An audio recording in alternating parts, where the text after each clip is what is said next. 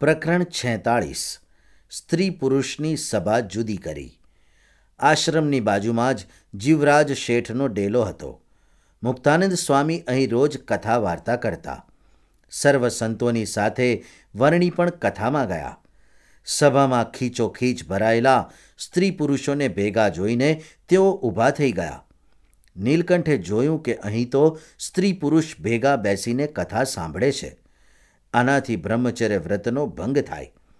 નીલકંઠને ગમ્યું નહીં, તેથી તેમણે સભાનો ત્યાગ કર્યો.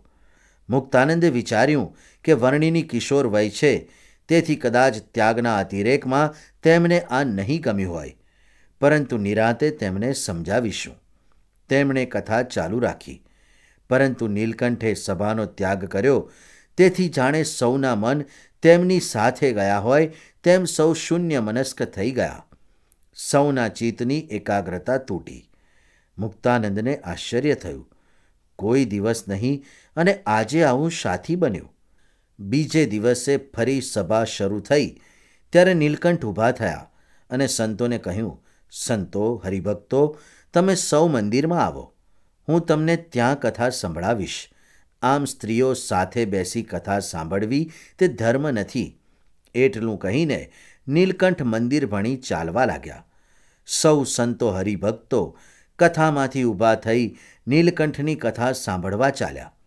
માત્ર સ્ત્રીઓ જ મુક્તાનંદ સ્વામીની સભામાં રહી. મુક્તાનંદ સ્વામી સમજી ગયા. તેમણે પુસ્તકના પાના બાંધી ત્યાં બેઠેલી સ્ત્રીઓને કહ્યું, માતાઓ, આ હવે છેલ્લા રામ રામ છે.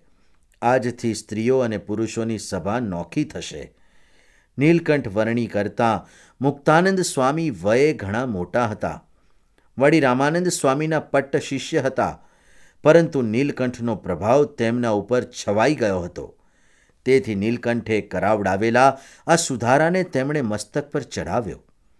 બ્રહ્મચર્ય ધર્મના સ્થાપનનું વર્ણિનું આ પ્રથમ સોપાન હતું.